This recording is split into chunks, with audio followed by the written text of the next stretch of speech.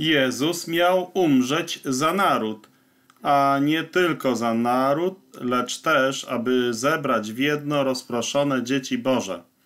Ewangelia Jana, 11 rozdział 51 do 52 wersetu.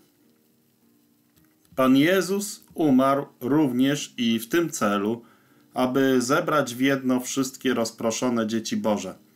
Ewangelia Jana 11.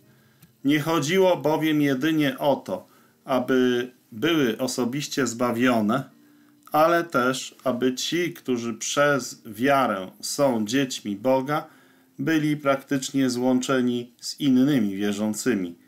W Dzień Zielonych Świąt poprzez chrzest Duchem Świętym jedność wszystkich wierzących stała się faktem, bo też w jednym duchu wszyscy zostaliśmy ochrzczeni w jedno ciało.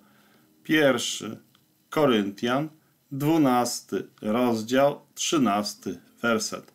Od tej pory wszyscy wierzący obrazują razem zgromadzenie Boże, potocznie nazywane Kościołem.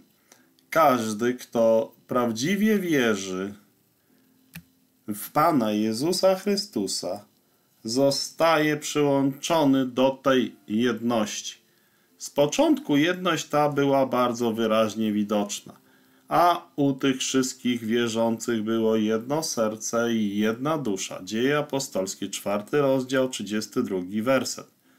Ale przez naszą niewierność i własną wolę Dziś chrześcijanie są podzieleni na wiele ugrupowań religijnych, tak że ta jedność nie jest rozpoznawalna.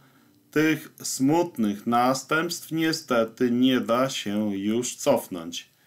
Ale możemy według biblijnych wskazówek cały czas zgromadzać się do imienia Pana Jezusa i łamać chleb, aby przez to zaświadczyć, że ta jedność wciąż jeszcze istnieje.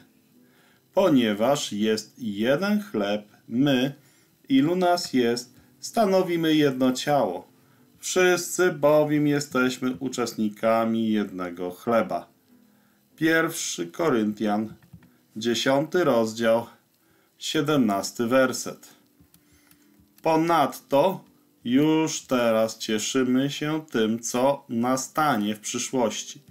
Gdy Pan Jezus znów przyjdzie, wszyscy, którzy w czasie łaski w Niego uwierzyli, zostaną zabrani do Niego, do nieba.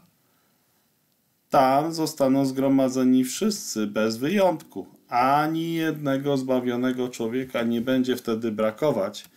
Podczas uroczystego ukazania Jego wspaniałości ta tak droga dla Niego jedność wszystkich wierzących będzie jasno błyszczącym klejnotem Jemu na chwałę.